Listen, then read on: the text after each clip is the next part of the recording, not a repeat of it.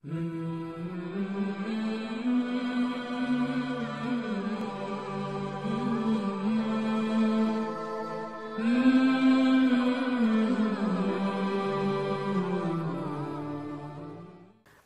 عليكم ورحمة الله وبركاته.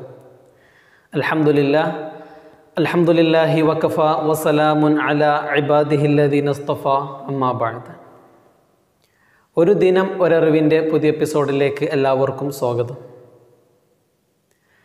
India മഹാരാജ്യം ഇപ്പോൾ കടന്നു പോയിക്കൊണ്ടിരിക്കുന്നത് നിയമസഭയിലേക്കുള്ള തിരഞ്ഞെടുപ്പുമായി ബന്ധപ്പെട്ട ഒരു രീതിയിലൂടെയാണല്ലോ. ഈ ഒരു സന്ദർഭത്തിൽ സോഷ്യൽ മീഡിയയിലൂടെ നാം ഒരുപാട് വാർത്തകളും ഒരുപാട് പ്രശ്നങ്ങളും നാം കണ്ടുകൊണ്ടിരിക്കുന്നുണ്ട്. ഹിജാബിന്റെ പേരിലും മറ്റു പല പരാമർശങ്ങളുടെ പേരിലും ചിലർ ഉന്നയിക്കുന്ന ചില വാദങ്ങളും ചില ചില വർത്തമാനങ്ങളെല്ലാം ഇന്ന് പെട്ടെന്ന് തന്നെ സോഷ്യൽ മീഡിയയിൽ വളരെയധികം പ്രചാരം സിദ്ധിക്കുന്ന ഒരു കാഴ്ച നാം കണ്ടുകൊണ്ടിരിക്കുകയാണ്. ഇതിന്റെ എല്ലാം ഉദ്ദേശം ഇവർ ഓരോരുത്തരും ഈ പുറപ്പെടുവിക്കുന്ന ഈ ഒരു ഓരോ വാദത്തിന്റെയും ഉദ്ദേശം. വിരഞ്ഞ വരുന്ന തെരഞ്ഞെടുപ്പിൽ അവർക്ക് ആ ഉന്നതമായ ആ പദവി അലങ്കരിക്കണമെന്നുള്ള ഉദ്ദേശത്തോടു കൂടെയാണ്. അഥവാ അധികാരത്തിലേക്ക് എത്തിപ്പെടാൻ വേണ്ടിയാണ് തന്റെ സമുദായത്തിൽപ്പെട്ടവരെയും തന്റെ ഓരോ തന്നോട് അടുപ്പമുള്ളവരെയും തള്ളി നീക്കേണ്ടി വന്നാൽ തള്ളി നീക്കുകയും അവരെ പറ അവരെ മോശം ചിത്രീകരിക്കുകയും എല്ലാം ചെയ്തിട്ട് ഭരണത്തിലേക്ക് എത്തിപ്പെടാൻ വേണ്ടി പരിശ്രമിക്കുകയാണ്. ഇവിടെ നാം മനസ്സിലാക്കേണ്ട കാര്യം ഇങ്ങനെ ഭരണത്തേക്ക് എത്തിപ്പെടാൻ നാം പ്രവർത്തിക്കുന്ന ഓരോ തിന്മയും അത് വളരെയധികം ഗൗരവമായ വിഷയം തന്നെയാണ്. ഇത്രത്തോളം എന്ന് വെച്ചാൽ നമ്മിൽ നിന്ന് മരണപ്പെട്ടു പോയ നമ്മിൽ നിന്നും കഴിഞ്ഞു പോയ മുൻഗാമിയുടെ ചരിത്രം നാം പരിശോധിക്കുകയാണെങ്കിൽ നമുക്ക് വ്യക്തമായി മനസ്സിലാക്കാൻ സാധിക്കും. ഭരണത്തിൽ കയ്യേറാൻ വേണ്ടി വളരെ മോശപ്പെട്ട രീതിയിൽ അവർ കഴിച്ചു കൂട്ടുകയും അങ്ങനെ ഭരണത്തിലെത്തിയ ശേഷം വളരെയധികം ക്രൂരമായി തന്റെ ജനതയോട് പെരുമാറുകയും ചെയ്ത ധാരാളം ഭരണാധികാരികളുടെ അന്ത്യവും അവരുടെ ജീവിതം എപ്രകാരമായിരുന്നു എന്ന് ചരിത്രം വളരെ വസ്തുനിഷ്ഠമായി നമുക്ക് പ്രതിപാദിക്കുന്നുണ്ട്. അതുകൊണ്ട് തന്നെ അധികാരമോഹം ആപത്തിലേക്ക് എന്നുള്ള ചർച്ച നാം മനസ്സിലാക്കേണ്ടിയിരിക്കുന്നു.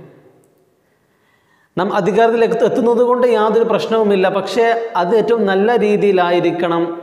അതുപോലെ തന്നെ നാം നല്ല രീതിയിൽ നമ്മുടെ ഭരണം നാം നിറവേറ്റാൻ ഉത്തരവാദിത്തപ്പെട്ടവരായിരിക്കണം. ആ ഒരു ചിന്തയിലാണെങ്കിൽ മാത്രമേ നാം കടന്നു വരുന്ന നാം പ്രവർത്തിക്കുന്ന ഓരോ കാര്യങ്ങൾക്കും വളരെയധികം വിജയത്തിലേക്ക് എത്തിപ്പെടാൻ സാധ്യമാവുകയുള്ളൂ. നമുക്കറിയാം ബഹുമാനപ്പെട്ട മഹാനായ മൊഹീദ്ദീൻ ഷെയ്ഖ് അള്ളാഹി അലിഹി അവരുടെ ചരിത്രമെല്ലാം നമുക്കറിയാവുന്ന കാര്യമാണ്. അദ്ദേഹം വളരെയധികം ഉയർന്ന സമ്പന്നനായിരുന്നു. എത്രത്തോളം എന്ന് വെച്ചാൽ തന്റെ വീട്ടിലെ തന്റെ ബഹുമാനപ്പെട്ടവരുടെ വീടുകളിൽ തൊഴുത്തിൽ പശുക്കളെ തന്റെ മൃഗങ്ങളെ കെട്ടിയിരുന്ന കുറ്റി പോലും സ്വർണത്താൽ നിർമ്മിക്കപ്പെട്ടതായിരുന്നു. ഇവിടെ നമുക്ക് മനസ്സിലാക്കാൻ സാധിക്കും ഈ മഹാനവറുകൾ ഇത്രമാത്രം നല്ല ധർമ്മങ്ങൾ ചെയ്യുന്ന ഒരു വ്യക്തിത്വമായിരുന്നതുകൊണ്ടും അതുകൊണ്ട് തന്നെ മഹാനവറുകൾ വളരെയധികം ഉയർന്ന ഒരു സ്ഥാനത്താണ് ഉണ്ടായിരുന്നത് മനസ്സിലാക്കാൻ സാധിക്കുന്നു. എന്നാൽ അതേ സ്ഥാനത്ത് ഞാനാണ് റബ്ബ് എന്ന് പ്രതിപാദിച്ച ഞാനാണ് റബ്ബ് എന്ന് പരാമർശിക്കുകയും അങ്ങനെ വളരെ നീചമായ രീതി ഭരണം കാഴ്ചവെച്ച ഫിറോവിന്റെ അന്ത്യമെല്ലാം വളരെ വ്യക്തമായി തന്നെ പരിശുദ്ധമാക്കപ്പെട്ട ഖുർആാനിലൂടെയും നാം കണ്ടുകൊണ്ടിരിക്കുന്ന ഒരു കാര്യമാണ്. അതുകൊണ്ട് തന്നെ ഭരണത്തിൽ എത്തിപ്പെടുന്നത് കൊണ്ട് നാം മനസ്സിലാക്കേണ്ട ധാരാളം കാര്യങ്ങളുണ്ട്. ഭരണം കൈയാളാൻ വേണ്ടി എന്തും ചെയ്യാമെന്നുള്ള ചിന്ത നാം പൂർണമായി ഉപേക്ഷിക്കണം. ഒരു ചരിത്രം പരിശോധിക്കാൻ മനസ്സിലാക്കാൻ സാധിക്കും. ബഹുമാനപ്പെട്ട നിസാമുദ്ദീൻ മെഹബൂബില്ല എന്നറിയപ്പെടുന്ന ഒരു മഹാപണ്ഡിതനുണ്ടായിരുന്നു. വളരെയധികം ധർമ്മം ചെയ്യുന്ന വളരെയധികം സൽക്കാരപ്രിയനായ ഒരു വ്യക്തിത്വമായിരുന്നു ബഹുമാനപ്പെട്ട നിസാമുദ്ദീൻ മെഹബൂബില്ലാഹി അവർക്ക് അള്ളാഹുവിന്റെ ഒരു വലിയ കൂടെയായിരുന്നു. എത്രത്തോളം എന്ന് വെച്ചാൽ ബഹുമാനപ്പെട്ടവർ നടത്തുന്ന സൽക്കാരത്തിന്റെ അവശിഷ്ടം അതിന്റെ ബാക്കി വേസ്റ്റ് കളയാൻ വേണ്ടി എഴുപതോളം ചോ ഒട്ടകങ്ങളുടെ ചുമലിലാണ് അതിനെ വഹിച്ചു കൊണ്ടുപോയിരുന്നത് എന്ന് നാം ചരിത്രം പരിശോധിച്ചാൽ കാണാൻ സാധിക്കുന്നതാണ്. അങ്ങനെ മഹാനപുറകൾ ഇത്ര വലിയ ഒരു സമൂഹത്തിന് ഭക്ഷണം നൽകുകയും അങ്ങനെ ഒരുപാട് ആളുകൾ ബഹുമാനപ്പെട്ടവർ ബഹുമാനിക്കുകയെല്ലാം ചെയ്യുന്നത് കണ്ടപ്പോൾ അന്ന് നാട്ടിലെ രാജാവിന് ബഹുമാനപ്പെട്ടവരോട് വളരെയധികം ഈർഷ്യ തോന്നുകയും അങ്ങനെ ഒരു ഉത്തരവ് പുറപ്പെടുവിക്കുകയുണ്ടായി. ഇനി മുതൽ നിസാമുദ്ദീൻ മെഹബൂബില്ല എന്നവറുകൾക്ക് യാതൊരു തരത്തിലുള്ള ഭക്ഷണവും ഒരു തരത്തിലുള്ള സഹായവും ചെയ്യരുത് എന്ന് ഉത്തരവ് പുറപ്പെടുവിച്ചു. ഏതങ്ങാടിയിൽ പോയാലും എല്ലാവരും അവിടെ നിന്ന് ബഹുമാനപ്പെട്ടവരുടെ ആളുകളെ പറഞ്ഞയക്കുകയാണ്. നിസാമുദ്ദീൻ മെഹബൂബില്ല അവറുകൾക്കാണ് ഭക്ഷണമെങ്കിൽ അവർക്ക് തരാൻ സാധ്യമല്ല. ഒരു തരത്തിലുള്ള ഭക്ഷണധാന്യവും തരാൻ പാടില്ല എന്നാണ് ബഹുമാനപ്പെട്ട രാജാവ് പറഞ്ഞിട്ടുള്ളത് എന്ന് പറഞ്ഞിട്ട് ആ അവരുടെ ബഹുമാനപ്പെട്ട നിസാമുദ്ദീൻ ഷാ മെഹബൂബില്ല അവറുകളുടെ ആ അനുയായികളെ പറഞ്ഞയക്കുകയാണ്. അവസാനം അവരെല്ലാവരും ബഹുമാനപ്പെട്ട നിസാമുദ്ദീൻ ഷാ അവറുകൾ വന്നുകൊണ്ട് പറയുകയുണ്ടായി. സംഭവങ്ങളെല്ലാം വിവരിച്ച് പറഞ്ഞു നമുക്ക് എവിടെ നിന്നും ഒരു ഭക്ഷണത്തിനുള്ള ഒരു സാമഗ്രികം ആരും തരുന്നില്ല ഇത് രാജാവ് ഉത്തരവാണ് എന്നാണ് പറയുന്നത് എന്ന് പറഞ്ഞപ്പോൾ ബഹുമാനപ്പെട്ടവർ പറഞ്ഞു ഇന്നാലിന്റെ പ്രദേശത്തേക്ക് പോവുക അവിടെ ഒരു വലിയ പർവതമുണ്ട്. ആ പർവതത്തിനപ്പുറത്തായി ഒരു അങ്ങാടി തന്നെ ഒരു ചന്ത കാണാൻ സാധിക്കും. അവിടെ പോയിട്ട് ഈ ഉള്ളവന്റെ പേര് പറഞ്ഞാൽ മതി. നിങ്ങൾക്ക് വേണ്ടുന്ന എല്ലാ തരത്തിലുള്ള ഭക്ഷണ സാധനം അവിടെ നിന്ന് ലഭിക്കുന്നതാണ്. അതുകൊണ്ട് തിരിച്ചു വരാൻ പറയുകയുണ്ടായി. അങ്ങനെ ആ ബഹുമാനപ്പെട്ടവരുടെ അനുയായികൾ അവിടെ ചെല്ലുകയും അങ്ങനെ ആ പർവതം കണ്ടെത്തുകയും പർവതത്തിനപ്പുറത്തെ കടന്നു ചെന്നപ്പോൾ അവർ കാണാൻ സാധിച്ചത് വളരെ വലിയ ഒരു ചന്ത കാണാൻ സാധിച്ചു. ആ ചന്തയിലേക്ക് ഇറങ്ങി ചെന്നുകൊണ്ട് അവർ ചോദിച്ചു ഞങ്ങൾ ഇന്നാലിന്ന ബഹുമാനപ്പെട്ട നിസാമുദ്ദീൻ ഷാ മഹബൂബില്ല അവരുടെ അടുക്കിൽ നിന്ന് വരികയാണ്. ഞങ്ങൾക്ക് അല്പം സാധനങ്ങളെല്ലാം വേണം എന്ന് പറയുകയും അത് കേട്ടപ്പാട് അവർ പറഞ്ഞു ഈ ചന്ത ബഹുമാനപ്പെട്ടവരുടെ ചന്തയാണ്. ഈ ചന്തയിൽ നിന്നും അവർക്കല്ലാതെ മറ്റ് ആർക്കും തന്നെ ഭക്ഷണമില്ല യാതൊരു തരത്തിലുള്ള സാമഗ്രികൾ നൽകുകയില്ല എന്ന് പറയുകയും വേണ്ടുന്ന എല്ലാ സാധനങ്ങളും അവിടെ നിന്ന് അവർ നൽകുകയുണ്ടായി. അങ്ങനെ എല്ലാ സാധനവുമായി വീണ്ടും തിരിച്ചു വന്നു. അങ്ങനെ വലിയ രീതിയിലുള്ള ഭക്ഷണമെല്ലാം പാകം ചെയ്ത് പാവപ്പെട്ട ആളുകൾക്ക് ഭക്ഷണം നൽകുകയുണ്ടായി. ഇത് രാജാവ് വീണ്ടും കേൾക്കാനിടയായി. രാജാവിന് കാര്യം മനസ്സിലായി. അദ്ദേഹം സാധാരണ മനുഷ്യനല്ല. കാരണം ഇങ്ങനെ ഒരു ചന്ത മുമ്പടെ ഉണ്ടായിട്ടില്ല. നിമിഷ നേരങ്ങൾ കൊണ്ട് അവിടെ ഒരു ചന്ത ഉണ്ടായി എന്ന് പറയുമ്പോൾ ആ ചന്തയെയും ഞാൻ ഒഴിവാക്കി കഴിഞ്ഞാൽ വീണ്ടും ചന്ത ഉണ്ടാവുക തന്നെ ചെയ്യും. ഇതിനൊരു അന്ത്യം ഉണ്ടാവുകയില്ല എന്ന് ആ രാജാവ് മനസ്സിലാക്കുകയും രാജാവ് ഒരു കാര്യം തീരുമാനിച്ചു. ബഹുമാനപ്പെട്ട നിസാമുദ്ദീൻ ഷാ മഹബൂബില്ല അവറുകളെ നാട് കടത്താൻ തീരുമാനിച്ചു. അങ്ങനെ ഉത്തരവ് പുറപ്പെടുവിച്ചു ആ ഉത്തരവ് പുറപ്പെടുന്ന സന്ദർഭത്തിലാണ് രാജാവിന് അതിമാരകമായ ഒരു രോഗം പിടിപെടുന്നത്. ലോകത്തുള്ള എല്ലാ സർവ വളരെയധികം പ്രാഗൽഭരായ എല്ലാ വൈദികന്മാരെയും കൂട്ടിക്കൊണ്ടുവന്നു. അവരെങ്ങനെയൊക്കെ നോക്കിയിട്ടും ബഹുമാനപ്പെട്ട രാജാവിന്റെ രോഗം ശിഫ സുഖപ്പെടുത്താൻ സാധിക്കുന്നില്ല. രോഗം എന്താണെന്ന് വെച്ചാൽ ബഹുമാനപ്പെട്ടവർക്ക് മൂത്രശങ്കയുണ്ട് പക്ഷെ അവർക്ക് മൂത്രം പുറത്തേക്ക് പോകുന്നില്ല. എല്ലാം തളം കെട്ടി കിടക്കുകയാണ്.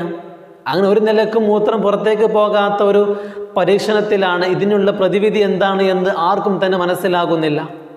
അങ്ങനെ ദിവസങ്ങൾ കടന്നുപോയി ഒരു നിലക്കും ബഹുമാനപ്പെട്ട ആ രാജാവിന് അവിടെ നിന്നും മാറാൻ ആ മൂത്രസംഘ ശങ്ക പോയി കിട്ടുന്നില്ല എന്ന് മനസ്സിലാക്കിയപ്പോൾ അവസാനം ഇദ്ദേഹത്തിന്റെ രാജാവിന്റെ ബുദ്ധിമുട്ടെല്ലാം കണ്ടപ്പോൾ മന്ത്രിയായ ഒരു വ്യക്തി ആ മന്ത്രി കടന്നു വന്നുകൊണ്ട് രാജാവിനോട് പറയുകയുണ്ടായി ഇതിനെ സുഖപ്പെടുത്താൻ ഇവിടെ ഒരാൾക്ക് മാത്രമേ സാധിക്കുകയുള്ളൂ.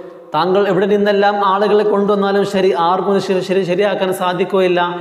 ഇതിനെ ശരിയാക്കണമെങ്കിൽ ഈ ലോകത്തെ സുഖപ്പെടുത്തണമെങ്കിൽ ഒരേ ഒരാൾക്ക് മാത്രമേ സാധ്യമാവുകയുള്ളൂ എന്ന് രാജാവിനോട് പറഞ്ഞപ്പോൾ രാജാവിനോട് തന്നെ മറുപടി പറഞ്ഞു എങ്കിൽ ആളെ കൊണ്ടുവരൂ. ആരാണ് ആ ആൾ? എന്ന് പറഞ്ഞ് ചോദിച്ചപ്പോൾ ആ മന്ത്രി പറഞ്ഞ് മറ്റാരുമല്ല താങ്കൾ ഇവിടെ നിന്ന് പുറത്താക്കാൻ വേണ്ടി ഉത്തരവ് പുറപ്പെടുവിച്ചില്ലേ? ബഹുമാനപ്പെട്ട നിസാമുദ്ദീൻ ഷാ മെഹബൂബില്ലാഹി അവറുകൾ അവർക്ക് മാത്രമേ സുഖപ്പെടുത്താൻ സാധ്യമാവുകയുള്ളൂ എന്ന് ആ മന്ത്രി പറയുകയുണ്ടായി. അങ്ങനെ രാജാവ് മനസ്സില്ല മനസ്സോടെ എന്നാൽ ഈ ബുദ്ധിമുട്ട് സഹിക്ക വയ്യാതെയായപ്പോൾ രാജാവ് ഉടനെ തന്നെ ഉത്തരവ് പുറപ്പെടുവിച്ചു. ബഹുമാനപ്പെട്ട നിസാമുദ്ദീൻ ഷാ മെഹബൂബില്ല അവറുകളെത്തി കൊണ്ടുവരാനും അങ്ങനെ നിസാമുദ്ദീൻ ഷാ മഹബൂബില്ലയിലെ കൊണ്ടുവരികയും അവരുടെ കാര്യങ്ങൾ ആവശ്യപ്പെടുകയും ചെയ്തു. എന്നാൽ നിസാമുദ്ദീൻ ഷാ മഹബൂബില്ല അവർ പറഞ്ഞു അങ്ങനെ ഞാൻ വെറുതെ ശരിയാക്കി തരികയില്ല. ഇത് വളരെ സാരമായ കാര്യം തന്നെയാണ്. പക്ഷേ ഇത് ശരിയാക്കി തരാൻ എനിക്ക് ചില ഉപാധികളെല്ലാം ഉണ്ട് എന്ന് ചോദിച്ചപ്പോൾ രാജാവ് പറഞ്ഞു താങ്കൾക്ക് ഞാൻ എന്റെ രാജ്യത്തിന്റെ അധികാരത്തിന്റെ പകുതി ഭാഗവും താങ്കൾക്ക് നൽകാം. അത്ര ഭാഗത്ത് താങ്കളാണ് രാജാവ് ബാക്കിയുള്ളിടത്ത് ഞാൻ രാജാവായി തീർക്കൊള്ളാം എന്ന് പറയുകയും അങ്ങനെ രാജാവത്തിന്റെ രാജ്യത്തിന്റെ പകുതി ഭാഗം നൽകിയപ്പോൾ നിസാമുദ്ദീൻ ഷാ മഹബൂബില്ല അവറുകൾ പറഞ്ഞു ഇല്ല എന്നാൽ ഇതിനക്ക് ഇത് എനിക്ക് മതിയാവുകയില്ല. എനിക്ക് രാജ്യം മുഴുവനായി തന്നെ വേണമെന്ന് രാജാവ് ആവശ്യപ്പെടുകയുണ്ടായി. രാജാവില്ലാത്ത പ്രതിസന്ധിയായി കൊണ്ട് രാജാവ് എന്ത് ചെയ്തു?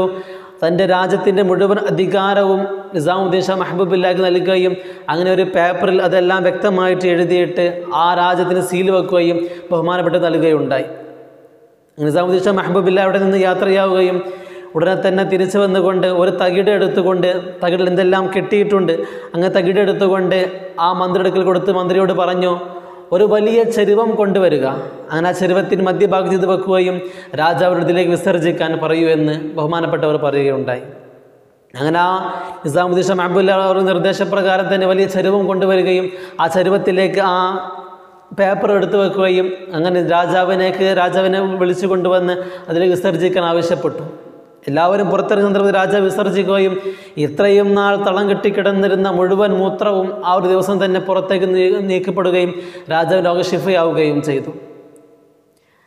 അങ്ങനെ ദിവസം അങ്ങനെ അങ്ങനെ തൊട്ടടുത്തതായിട്ട് തന്നെ ആ മന്ത്രി കടന്നു വരികയും മന്ത്രി ഇതിന് രഹസ്യം എന്താണെന്ന് അറിയാൻ വേണ്ടിയിട്ട് ആ തകിട് എടുക്കുകയും ആ തകിട് തുറന്നു നോക്കിയപ്പോൾ മന്ത്രി കാണാനിടയായത് താൻ നിസാമുദ്ദീൻ ഷാ മെഹബൂബില്ലായ്ക്ക് എഴുതി കൊടുത്ത തന്റെ രാജ്യത്തിന്റെ മുഴുവൻ അധികാരവും അത് ഉൾക്കൊള്ളുന്ന പത്രമാണ് ആ തളികയിൽ വെച്ചിട്ടുള്ളത് എന്ന് മനസ്സിലാക്കുകയും അങ്ങനെ രാജാവ് അത്ഭുതപ്പെട്ടിട്ട് മ- നിസാമുദ്ദീൻ മഹബൂഷയുടെ അടുക്കളിൽ കടന്നു വന്നുകൊണ്ട് ചോദിച്ചു എന്താ നിങ്ങൾ കാണിച്ചത്?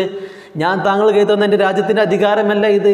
എന്റെ മുഴുവൻ സമ്പാദ്യമല്ല ഇത്. എന്ന് ചോദിച്ചപ്പോൾ നിസാമുദ്ദീൻ ഷാ മഹബൂബില്ല അവറുകൾ പറഞ്ഞു തന്റെ മൂത്രത്തിന്റെ വില ഇല്ല തന്റെ രാജ്യത്തെ അധികാരത്തിന് എന്ന് മനസ്സിലാക്കി കൊടുക്കുകയും അങ്ങനെ അധികാരമല്ല വലുത്. റബ്ബിലേക്കുള്ള ആ മുനാജാത്ത റബ്ബിലേക്കുള്ള അടുപ്പമാണ് ഏറ്റവും വലുത് എന്ന് മനസ്സിലാക്കി കൊടുത്തുകൊണ്ട് ബഹുമാനപ്പെട്ട അവിടെ നിന്ന് ഇറങ്ങി പോവുകയുണ്ടായി ഇതിൽ മനസ്സിലാക്കാൻ സാധിക്കുക രാജാധികാരത്തിന് ഒരു പദവിക്കുമല്ല വലുത്. മറിച്ച് റബ്ബിനോട് നാം ഏറ്റവും കൂടുതൽ അടുക്കുകയും അങ്ങ് നമ്മുടെ ഉണ്ടാകുന്ന എല്ലാ ബുദ്ധിമുട്ടുകളെയും റബ്ബ് മാറ്റി തന്നു കഴിഞ്ഞാൽ അതാണ് ഏറ്റവും വലിയ സമ്പത്ത് എന്ന് ബഹുമാനപ്പെട്ടവർ അന്ന് പഠിപ്പിച്ചു കൊടുക്കുകയുണ്ടായി. അള്ളാഹു സുബാനഹുവ താല അധികാരത്തിന് വേണ്ടി പോരാടുന്ന അധികാരത്തിന് വേണ്ടി വെമ്പൽ കൊള്ളുന്ന വളരെ മോശപ്പെട്ട രീതിയിൽ നിന്ന് നമ്മളെ കാത്തുരക്ഷിക്കുമാറാകട്ടെ. അഥവാ അധികാരം കിട്ടിയാൽ തന്നെ നല്ല രീതിയിൽ ചെലവഴിക്കാനും നല്ല രീതിയിൽ അള്ളാഹിന്റെ മാർഗം ചെലവഴിക്കാൻ തോഫിക്ക് നൽകി അനുഗ്രഹിക്കുമാറാകട്ടെ. വാഹുദാൻ അലഹമുല്ലാഹി റബ്ബുലാലമീൻ അസ്സാം വലൈക്കും വാഹമത്തല്ലാഹി വബർക്കാത്തു